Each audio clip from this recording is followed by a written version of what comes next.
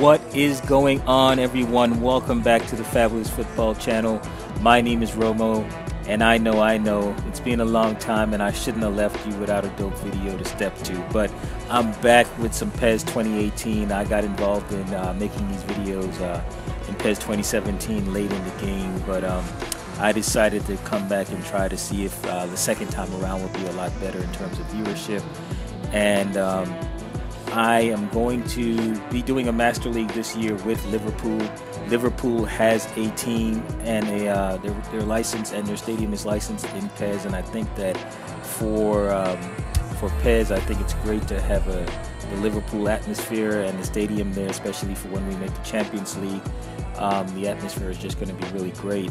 I actually don't have. Uh, I'm actually not a.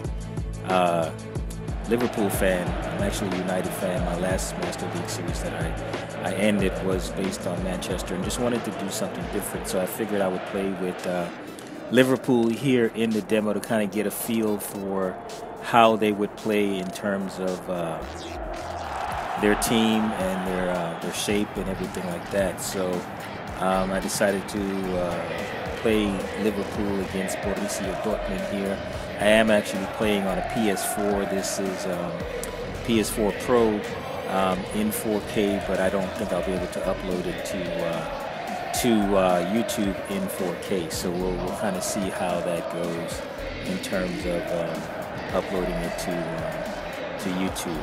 So um, I'm keeping my eye open here for a few things in this demo. I want to see how the AI play on Superstar mode.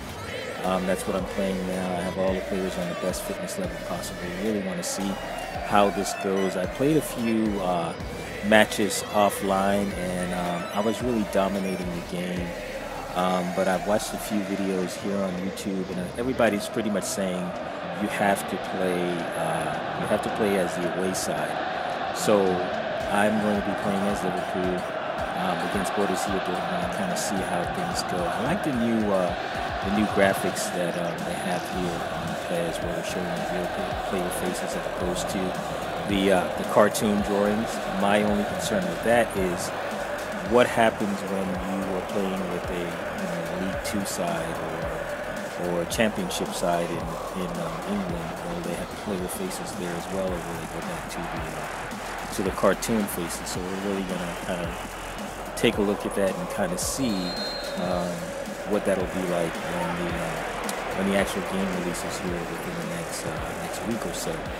Um, and I just happen to be playing PlayStation. I'm here in Florida, and uh, we're getting ready for a hurricane to kind of come and kind of destroy um, our lifestyle here. So uh, we may not have electricity for days or weeks at a time in the next uh, few hours.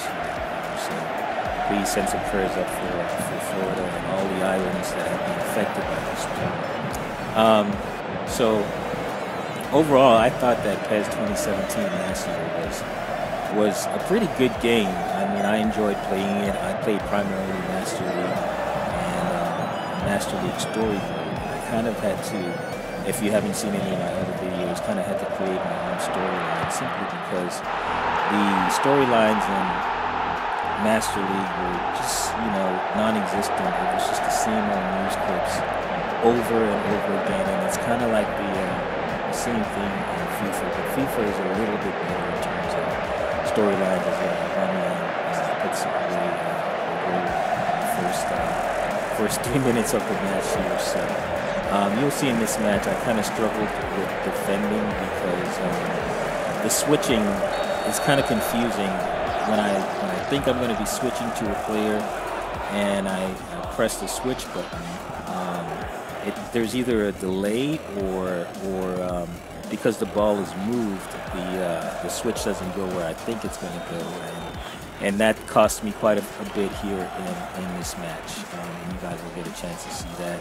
Um, but getting back to Master League, um, I hope that they kind of overhauled it. And here's Aubameyang again puts another one away, and that, that was another result of the, uh, the switching uh, error that I tried to switch to defender to to kind of cut off his run, and there was just a slight delay, and, and within that slight second that it took to um, to switch, he ran right by uh, my defender there. So already 2 0 down. And again, um, I'm looking to do a Master League with uh, Liverpool. I think that the team, simply because their license and their stadium is in PES, it'll make it a little bit more authentic when it comes to uh, playing in the Premier League. Uh, also, be bringing back my uh, Premier League graphics that I, I, did in my other videos, but I've improved them a little bit, um, doing some down, downtime. So, um, but the story storylines in Master Mode, Master League mode are, are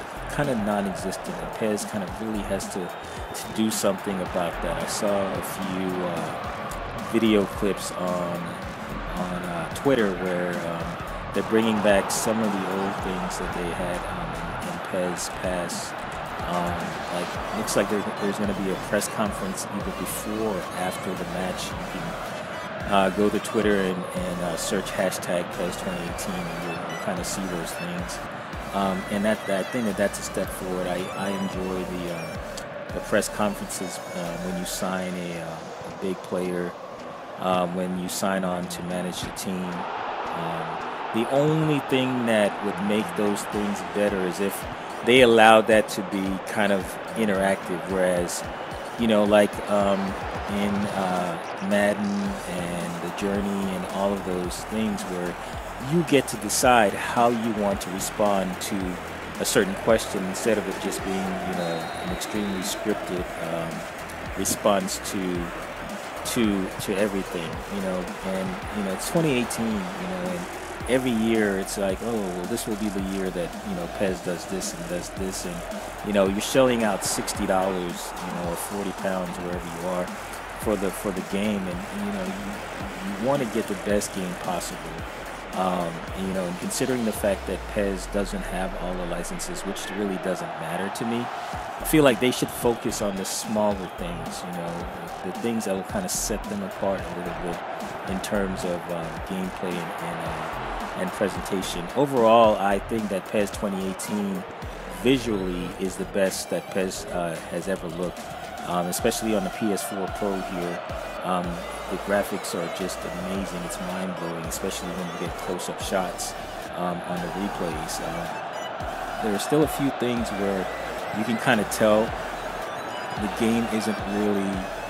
I guess it doesn't seem like it's designed to uh, to really run on 4K, even though I've seen commercials where they're saying that they're going to have it ready for 4K for um, Xbox One X. So I'm not sure if the PS4 Pro version will be um, 4K compatible as well.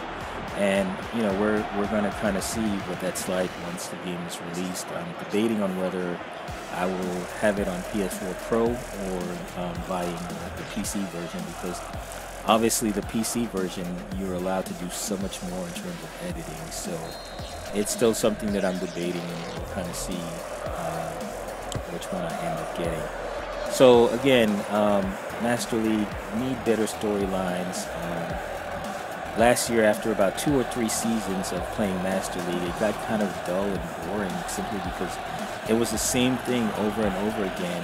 Um, and I think that PES should probably take a page out of uh, out of uh, FIFA's book and they kind of give you goals to accomplish in terms of you know each campaign. You know, otherwise you're just playing for the sake of playing. You want to win the Premier League or La Liga, or you know you want to win your domestic cups or Champion Leagues, Champions League, or the uh, Europa League.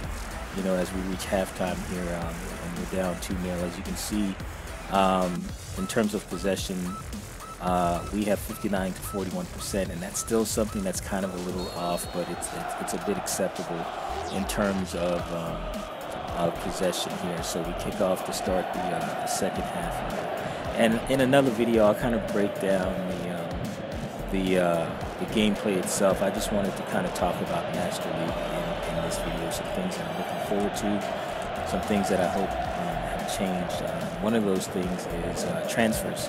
I think transfers were a little too easy in Master League, and they, they've always been too easy uh, to get players. You know, and it looks like FIFA's kind of overhauled their uh, their transfer process. So I'm, I'm, looking forward to seeing what uh, what uh, PES has done in terms of their transfers.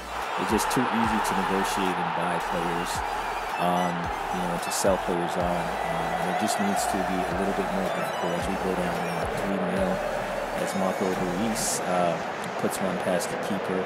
And it's it was a struggle defending in this game. And uh, like I said, I have it on Superstar Different TV, and the crowd looks amazing. Really, really well. Um, but yeah, so in terms of uh, transfers, I, I, just think that Master League in itself just needs a, an overhaul in terms of storylines, transfers, and then one of the most annoying things that happens in Master League for me is that I'll be coaching. Um, so in, in PES 2017, I was managing uh, Manchester United, and, and we had a rough start, and then we kind of got things on, on track. And by the January transfer window, I already had offers from about four clubs. I had Liverpool, Manchester City, um, a, a, few clubs in the um, in La Liga offering me their manager position. That's unrealistic. You know, I haven't been following football for a very, very long time, but I'm not sure how many managers have ever left um, a club in the middle of the season to go in and manage another club. It just doesn't happen, and and the clubs that are coming in for you are a bit, a little bit um, unrealistic as well, and that, that, needs to be changed. You know, I can't be managing Manchester United, and then um, Everton comes in and says, "Hey, can you would you like to manage our team?" just that's kind of a backwards move. You know, it would be one thing if PSG came to me after the season and said, "Hey, we were impressed with what you did." come and manage our our side, you know. But that's not what's happening um, in terms of um, um, Master League. And again, Master League needs to have an overall purpose. It's it's just it's just so mundane. I mean, overall, you know that okay, you want to win your league, you want to win the Champions League. But what happens when you don't win those things? You know, you don't you don't get fired, which makes the fact that uh, these these clubs coming in and asking you to manage their team even more unrealistic. You should get sacked in um, in Master League if you, your, your, your board of directors gives you an objective of winning uh, the Champions League within your your first three years, and you don't do that, or you don't win any any trophies in in two or three seasons, depending on the size of the club. Like if you're at a Manchester United, it's it's it's an expectation every season that you're going to win a few trophies. And when you come away with nothing and you finish in the uh, in the seventh in the Premier League, none of those managers have, have survived. David Moyes did not survive. Um, um, uh, I can't remember the name of the other manager, uh, the Dutch uh, national team manager. I can't remember his name. His name escapes me for some reason, but he, he got sacked, and immediately uh, Mourinho came in, and he made a big difference. You know, so Master League needs a purpose. It, it, you can't just be going from season to season to season without any real objectives. You know, there should be object objectives to reduce the uh, reduce your your uh, players player uh, salaries overall, where it kind of forces you to be successful with kind of like not by not buying superstar players, it, it makes your uh, your your transfer market business a lot more difficult because you have to find players with a lot of quality to them, but that aren't very expensive. So then you're more dependent on on the scouting network, and you tell your scouts to go out and find me players that are good, but also don't cost me a boatload of money. So that should be an objective in Master League where, okay, hey,